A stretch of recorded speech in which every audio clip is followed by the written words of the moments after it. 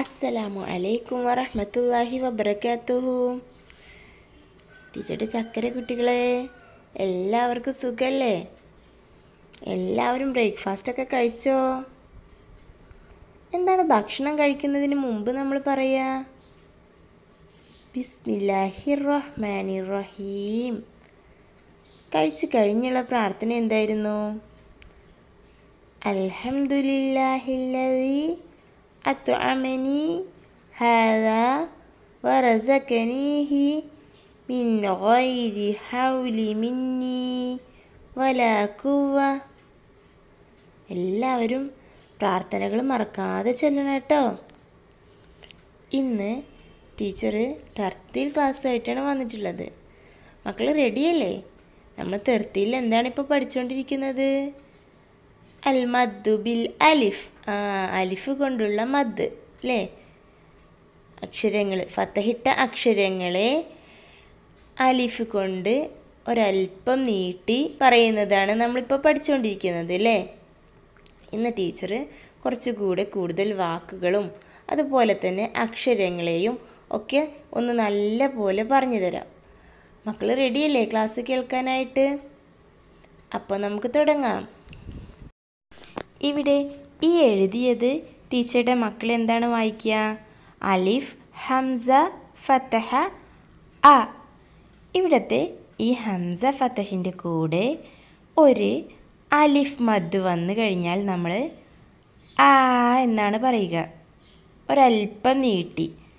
ഹംസ ഫത്തഹിനെ നമുക്ക് തനിയെ അ എന്ന് പറയാം. അതിന്റെ കൂടെ അലിഫ് മദ് കൂടെ വരുമ്പോൾ ആ ആ. ഇത് ബഷീറിന്റെ ബ. ഈ ബായുടെ കൂടെ ഇനി നമുക്കൊരു അലിഫ് മദ് ഇട്ടാലോ? എങ്ങനെയാണ് നമ്മൾ ചേർത്ത് അലിഫ് മദോട് കൂടി വായിക്കുക? ബ. ബ. ബായെ ഒരല്പം നീട്ടിയില്ലേ? ബ. ഇനി നമുക്ക് ഈ ഒരു വാക്ക് വായിച്ച് നോക്കാം. ഇവിടെ തൻവീറിന്റെ തായുടെ കൂടെ അലിഫ് മദ്ദുണ്ട് അപ്പം നമ്മൾ താ താ എന്ന് പറയും. അടുത്ത അക്ഷരം ബ. താബ താബ പറഞ്ഞു നോക്കൂ. താബ എളുപ്പല്ലേ മക്കളെ?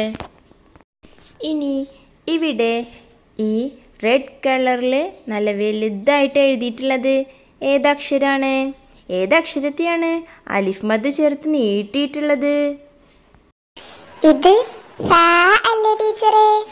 അതെ ഇത് സാ സാ വെച്ച് നമ്മൾ ഒരു കൂട്ടുകാരന്റെ പേരുണ്ട് അല്ലേ സാബിത്ത് സാബിത്ത് അപ്പോൾ ഇങ്ങനെ കണ്ടു കഴിഞ്ഞാൽ ടീച്ചറുടെ മക്കൾ എങ്ങനെയാണ് വായിക്കുക സാ സാ ഇവിടെ ടീച്ചർ ആദ്യം എഴുതിയിട്ടുള്ള അക്ഷരം നമ്മുടെ ജൗദമ്മച്ചിയുടെ ജ ആണ് അല്ലേ ഈ ജായുടെ കൂടെ ഇനി നമ്മളൊരു അലിഫ് ചേർക്കുകയാണ്.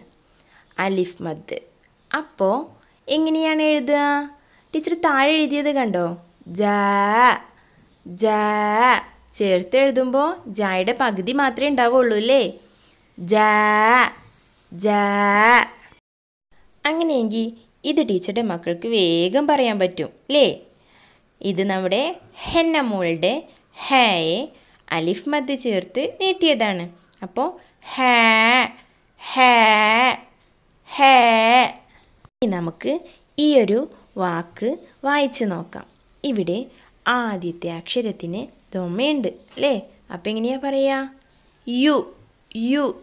യാസിറമോളുടെ യാക്ക് ദൊമ്മയിടുമ്പോൾ യു യു.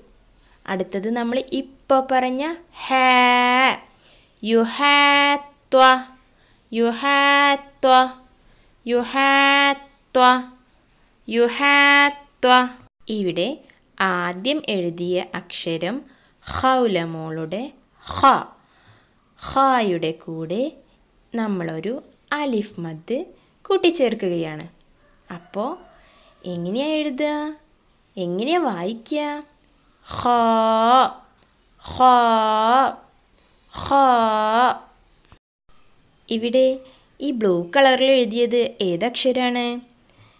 നമ്മുടെ സജാദ് മോന്റെ സ ലേ. നമസ്കരിക്കുമ്പോൾ ഇമാം നിൽക്കുന്ന സജാദിനെ ഓർമ്മയില്ലേ? സജാദിന്റെ സ. സായുടെ കൂടെ എന്താണ് കൂട്ടിച്ചേർത്തത്? അലിഫ് മദ്ദിനെ കൂട്ടിച്ചേർത്തു. അപ്പം എങ്ങനെയാ പറയുക സാ സാ.